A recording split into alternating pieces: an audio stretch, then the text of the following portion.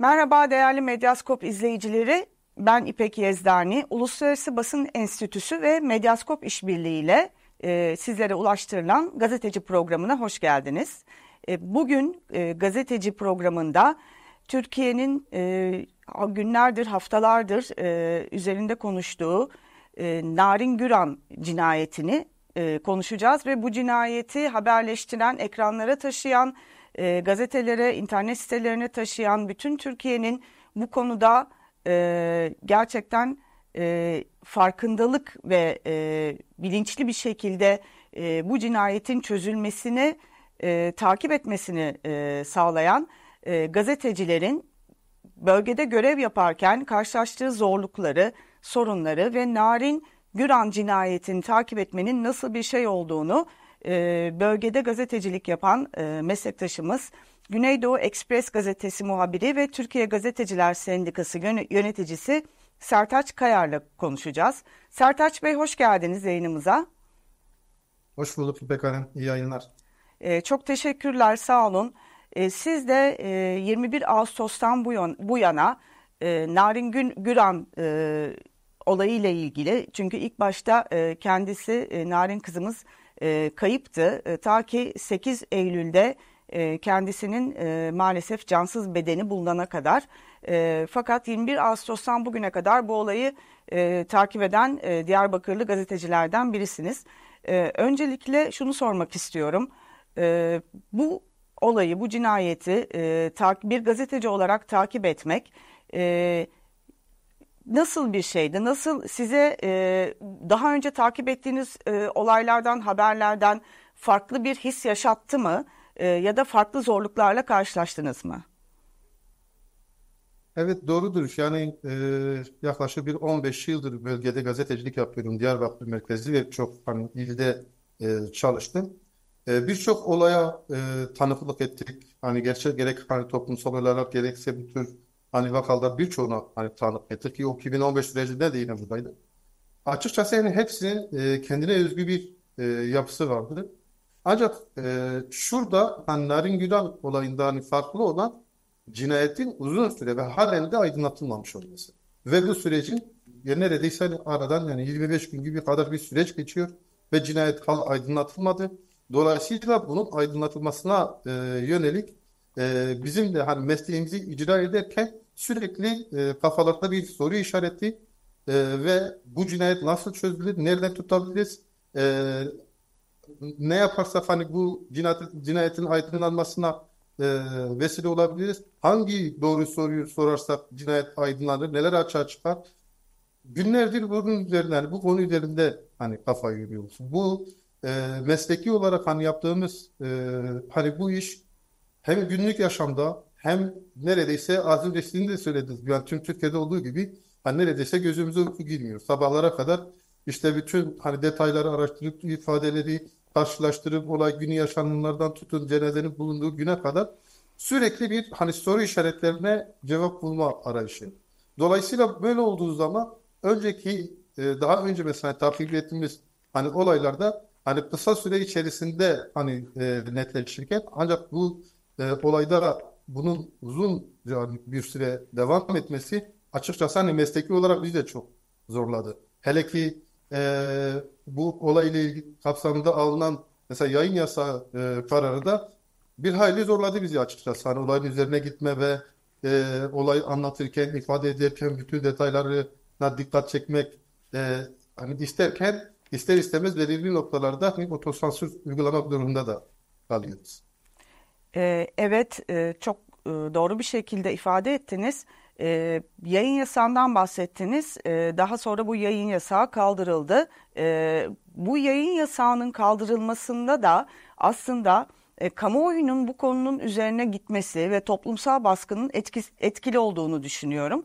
E, ve bu kamuoyunun yaratılmasında da şüphesiz e, sizler gibi bölgede görev yapan arkadaşlarımızın çok etkisi oldu. E, sizin düşünceniz nedir yayın yasağının kaldırılması ile ilgili? Yani yayın yasağının kaldırılması açıkçası hani yerinde bir hani karar oldu. İlk etaplarda e, hani biz de hani gazeteci olarak hani şey duygusuna kapıldık elbette ki. Aslında hani yayın yasağı doğru olur mu? Hani düşüncesine hani kapıldık ilk karar alındığı zaman. E, çünkü e, ilk e, günlerde hani konu e, yerelden gündemleşerek hani Türkiye gündemine oturmuştu.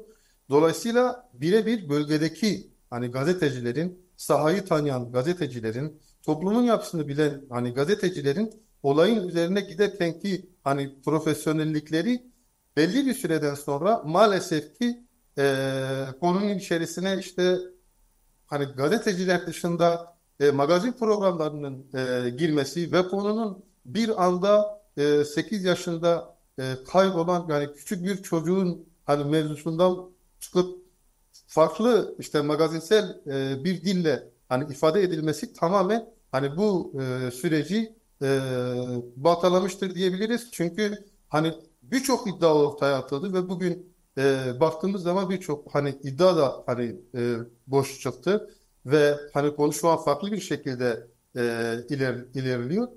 E, ondan kaynaklı hani o yayın yasağı düşüncesi açıkçası ilk etapta hani olabilir mi olamaz mı? Bunu sahada daha rahat bir şekilde hissettik. Neden? Çünkü bildiğiniz hani gazetecilerin soru sorması yani soru sormasının önüne hani geçildi. Neden? Köye gittiğimiz zaman kiminle görüşmek istesek, kime mikrofon uzatsak yayın yasağı olduğunu ve konuşmayacağını söylüyorlar.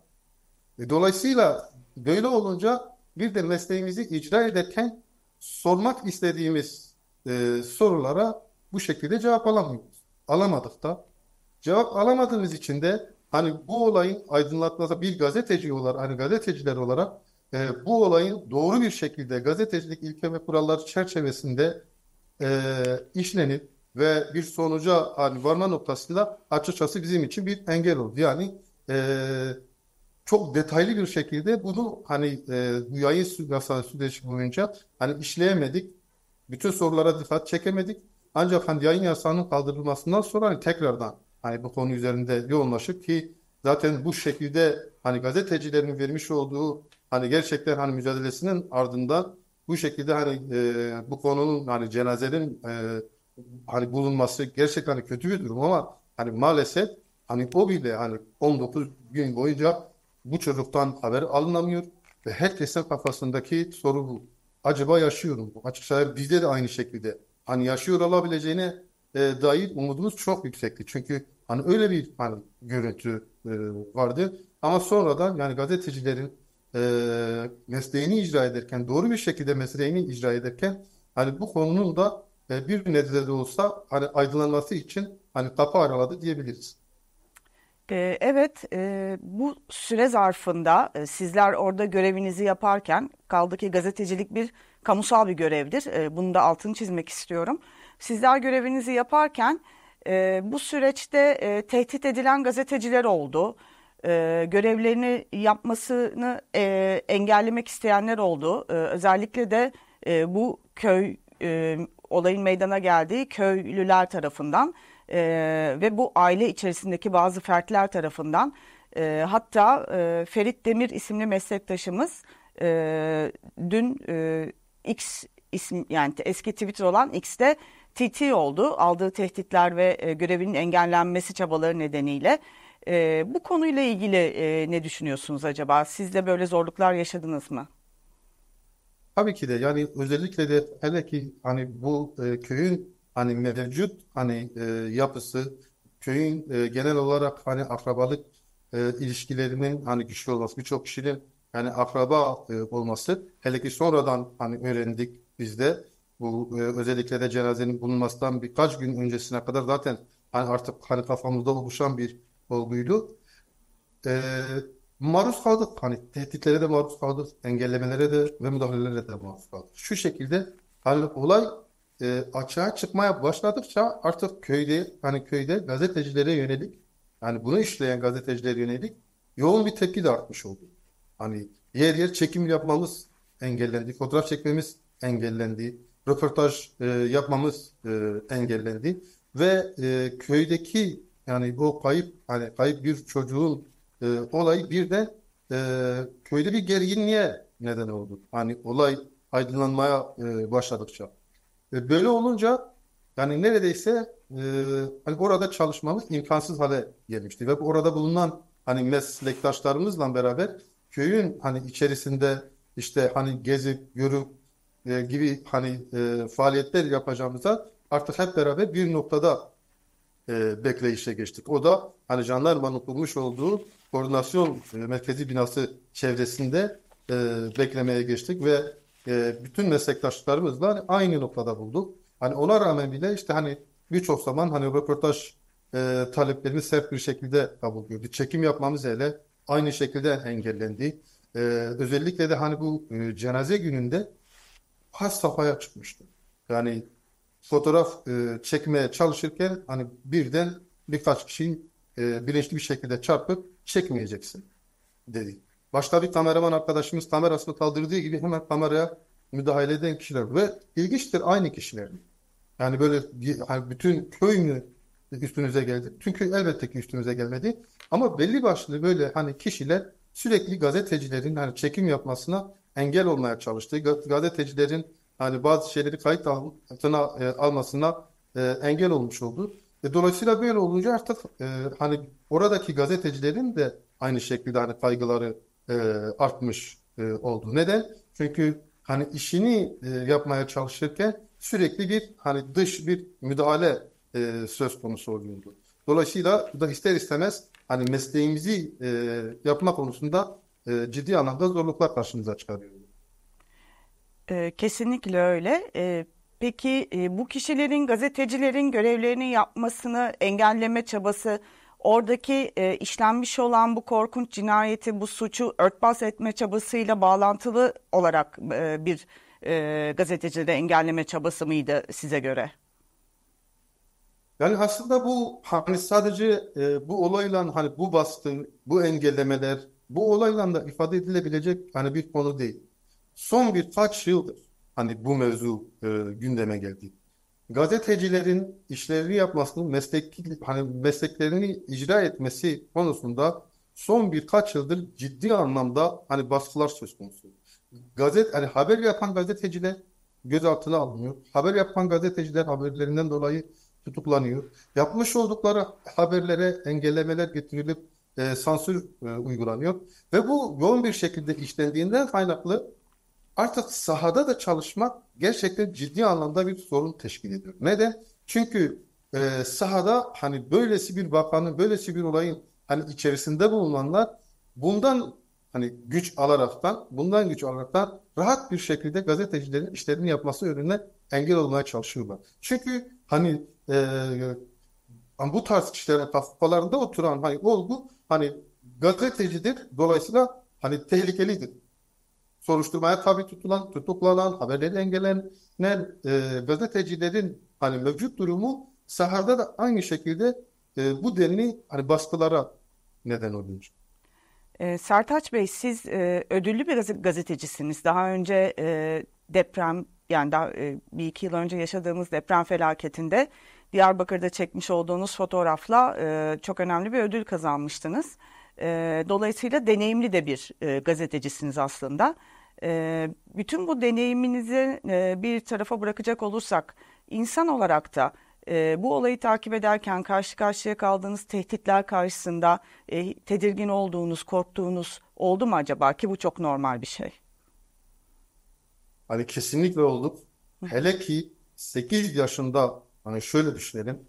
8 yaşında bir çocuk hani bu denli vahşi bir şekilde katlediliyorsa ve 19 gün boyunca cenazesi bulunmuyorsa ve buna rağmen halen gazeteciler saldırıya uğruyorsa, tehditlere maruz kalıyorsa bir insan olarak bizde de kendini güvende hissetmeme duygusu normal bir şekilde açığa çıkıyor. Hani bizi kim koruyacak? Çünkü herkesin kaçtığı, herkesin kaçtığı olay yerine koşarak gidiyoruz. Dolayısıyla nasıl bir manzara bizi bekliyor? Nasıl bir e, sonuç bizi bekliyor? Hani hiç düşünmeden, hiç düşünmeden olayın üstüne üstüne gidiyoruz. Bu az önce mesela söylediğiniz hani çektiğim fotoğraf karesinde dahi öyle. O fotoğraf hani karesini çekmek hani çekerken bile neredeyse en az 10-15 defa ite kalktı. Hani çekmem, hani fotoğraf çekmem bile yani engellenir ki basit bir e, deprem mevzusu. Hani toplumsal bir mevzu. Herkesin kendimiz de hani mağduru olduğumuz hani evimizden çıkıp direkt sahaya gidip hani çalışmaya çalıştık. Orada bile hani o fotoğrafı çekerken bile hani müdahale oldu, engellendi. Dolayısıyla hani bu tür hani olaylarda da aynı şekilde hani engelleniyor. Haberi yaptığınız zaman ki mesela e, az önce sizin de söylediğiniz gibi e, meslektaşımız Ferit Demir, gazeteci Ferit Demir ölümle tehdit edildi. Ve Ferit Demir ona rağmen hani uzunca bir süre hani köy içerisinde e, falaraktan gelişmeleri tabii. Hani, Ferit Demir belki de hani başına neler gelecek hani tahmin eden ama hani ısrarla mesleğini e, yerine getirmeye e, çalışkan. Biz de aynı şekilde her köye gittiğimizde hani o gergin e, atmosferi hani yaşadık, hissettik. Biz hani orada bulunan kişilerin bizim üzerimizdeki hani o bakışlarını hani hissettik. Yaptığımız e, haberlerden haberlerin ardından hani olumsuz bir geri dönüş olabilir mi? Ya da bundan yönelik mesela hani tepkiler hani had safhaya çıkıyor. Dolayısıyla e, bir tarafta hani bunu hani mesleğimizi yapmaya çalışırken hani diğer taraftan da hani bizi acaba nasıl bir şekilde etkileyecek? Biz bu haberi yaptık diye acaba alınan yas yayın yasağı gerekçe gösterilip hakkımızda bir soruşturma açılabilir mi? Davaya dönüşebilir mi? Bu haberi yaptık diye sahadaki e, hani sahada yaşadığımız olaylarda bize saldırı hani bize bir saldırı olabilir mi? Hani bu şekilde hani köyden bize yönelik bir hani e, saldırı girişimi olabilir mi? Ya da ne bileyim hani bunların hepsi hani e, kafamızdan geçen ve bunu hani bu mevcut durum bize hani bunları e, düşündürtüyor. Dolayısıyla biz gündüz sahada çalışırken sahada çalışırken eve döndüğümüz zaman aynı şeyleri yaşamaya devam ediyoruz. Yani bunu hem hani mesleki olarak bu olayın hani bu cinayetin peşine hani düşerken bir taraftan da bunun hani bizde yaratmış olduğu hani psikolojik yani psikolojik etkinin sonuçlarını da aynı şekilde yaşıyoruz. Çünkü hani dediğim gibi e, sahada hani bu vahşice işlenen hani cinayeti görüp ve irdeledikçe hani vahşetin boyutları açığa çıkınca e, benim de hani e, 8 aylık iki bebeğim var. Açıkçası hani eve geldiğim zaman eve geldiğim zaman hani kendi çocuklarımın hani yüzüne bakamaz duruma bazen geliyor. Ya da onları gördüğüm zaman şimdi bütün olayı hani çok detaylı bir şekilde hani öğrendiğimizden kaynaklı artık hani e, hani ev, yani kısacası hani mesleği dışarıda bırakamıyoruz. Yani aynı şekilde aynı şekilde çalışma saatleri dışında da hani biz hani bunun psikolojik etkilerini yaşamaya devam ediyoruz. E, Sertaç Bey mutlaka e, gazetecilikte gerçekten e, bu tür olayları takip ederken e, takip eden gazetecinin üzerinde de çok büyük aslında travmatik bir etki bırakıyor psikolojik olarak. E, bu da kanıtlanmış bir şey. Hatta bununla ilgili de gazetecilere yurt dışında gazetecilere yönelik e, psikolojik destek e, merkezleri e, bulunmakta. E, bazı işte Avrupa ülkelerinde, Amerika'da vesaire. Yani çok önemli bir konuya aslında temas ettiniz. Yani gazetecilerin e, sadece e, fiziksel olarak e, tehdit edilmesi değil, aynı zamanda psikolojik olarak da geçirdiği bir travma oluyor bu tür olayları takip ederken. E, maalesef bu da e, mesleği yaparken e, gazetecilerin ödemek zorunda kaldığı bedellerden biri. E, peki son olarak şu anda e, durum nedir? E, şu anda e, köy biraz daha boşalmış e, diyebiliyorum. E, daha e, oraya gittiğiniz vakit e, daha rahat iş, bir gazetecilik yapabiliyor musunuz? Olayları yerinde takip edebiliyor musunuz? Ya da adliyeye gittiğinizde, emniyete gittiğinizde konuyla ilgili sağlıklı bilgi alabiliyor musunuz? Yani şöyle söyleyeyim hani köy boyutu gerçekten artık hani bizim için biraz imkansız hale geldi. Çünkü artık hani birçok şeyin netleştiği ve olayın ufkunun birçok kişiye dokunduğundan kaynaklı artık bunların işte hani mevcut yakınlarından tutun da diğer hani köylere kadar e, bu şekilde artık hani yoğun bir e, hani baskı söz konusu ve orada hani köyde e, rahat e, çalışmak hani neredeyse imkansız gibi. Aynı şekilde adliye içerisinde de e, geçtiğimiz günlerde yaşanan e, gözaltı ve tutuklama e, olayının ardından yine gazeteci yani yine meslektaşlarımıza e, yönelik bir e, saldırı e, söz konusu olmuştu. E, şu an adliye yönünden hani gelişmeleri e, takip e, etmeye çalışıyoruz. Tabii e, köyden gelen e, yani bu e, ailenin e, çok sayıda hani e, aile bireyleri de hani adliye içerisinde e, bulunuyor. Ancak hani şöyle söyleyeyim, e, içeriden bilgi almak gerçekten hani çok zor bir e, şeye denk gelmiş. Daha öncelikten hani adliye muhabirlerinin çok rahat bir şekilde e, ulaştığı e, bilgilere maalesef şu anda hani o rahatlıkta e, ulaşılamıyor. Yani ulaşamıyor. Ancak yeri geldiği zaman hani şuna da tanık oluyoruz. Hani bunun hani e, sahada yoğun bir şekilde çalışırken hani bu e, olayı e, canla başla takip ederken e, çoğu zaman hani adliye önünde bekleyip hani içeriden bilgi hani olası yani bir bilgi almaya çalışırken bazen maalesef e, bir bakıyoruz işte e, herhangi bir televizyon kanalında e, hani hiçbir işte hani gizlilik kararıymış falan hani hiç dinlenilmeden bir bakıyoruz anı anına hani verilen ifadeler hani e, basına düşüyor. E, dolayısıyla böyle olunca hani biz de dışarıda hani sahada çalışan gazeteciler olarak maalesef hani gerçekten hani ona e, ulaşmakta çoğu zaman e, zorlanıyoruz. Hani zorlansak da e, gazeteciliğin çalışma koşulları hani değişmiş olsa da bu şekilde hani baskılar hani artmış olsa da sansür otosensürü yoğun bir şekilde hani hissetmeye de hani hisseder, hissetsek de her şekilde hani bu mesleği icra etmeye e, devam edeceğiz. E, Sertaç Kayar gerçekten e, çok fedakarca e, mesleğinizi orada icra etmeye çalışıyorsunuz.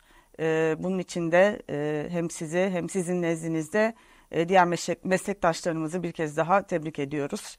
E, çok teşekkür ederim. E, son olarak demin son demiştim ama e, bu sefer son. E, şunu sormak istiyorum.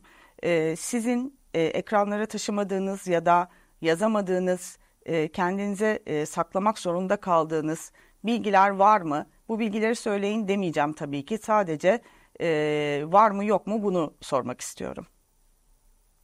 Yani şöyle söyleyeyim, çoğu zaman bizim hani e, kendimize sakladığımız elbette ki yani bilgiler e, oluyor ki birçok e, meslektaşımızın da e, yaptığı gibi. Birincisi e, hani gerçekten mesleği icra eder, bu mesleği icra ederken hani olası bütün hani sonuçlarını göz önünde bulunduraraktan e, çalışıyoruz. Örneğin hani e, köyde e, yaşadığımız hani zorluklar, karşılaştığımız hani saldırı ve tehditleri hani yazar, yazmadık kendimize sakladık. Hı hı. Bunları çünkü hani ortada bambaşka bir hani olay vardı ki daha önceden de yani 2015'te yaşanan olaylardan bugüne kadar buna benzer birçok şeyi hani kendimize saklamak, kendimize kaldırmak oldu. Yazmadık, çizmedik. Bazı zamanlarda hani kendinden ortaya çıkan olabilir. Olay ile ilgili ise, olayla ilgili ise evet hani bizim de bildiğimiz ve sıkça konuştuğumuz e, şeyler vardı. Onları da hani yazamadık. E, kendimize sakladık. Neden? Çünkü hani devam eden bir e, soruşturma var ve soruşturmanın hani soruşturma devam eden soruşturmaya zarar verebileceği hani düşüncesiyle açıkçası biz bunu yapmadık ya da e, bütün hani gazetecilikteki hani etik kuralların hepsini bir kenara hani bırakıp tık avcılığı peşine düşersek yani hiç yani teyit etmediğimiz bilgileri dahi yazabiliriz. Ancak dediğim gibi gerçekten hani bu meslek bize hani ciddi anlamda hani sorumluluklar e, yüklüyor ve bu sorumluluğu işte bu mesleğin neredeyse hani 20. E, yılına girdim. Hani bu sorumluluğu e, hissederekten yani her gördüğümüz, her hani tanık olduğumuz her bildiğimizi yeri geldiği zaman da maalesef yazamıyoruz. E, Sertaç Kayar e, çok teşekkür ediyorum yayına katıldığınız için ve değerli deneyimlerinizi bizimle paylaştığınız için. E, size kolaylıklar diliyorum, iyi çalışmalar diliyorum. E, bundan sonra da umuyorum ki e, çok daha kendinizi güvende hissettiğiniz ortamlarda e, gazeteciliğe devam edebilirsiniz. Ben çok teşekkür ediyorum. Böylesi bir yayında gazetecilerin e, bizlerin yani yaşamış olduğu e, bir sorunu e, gündeme getirmenizden kaynaklı teşekkür ediyorum.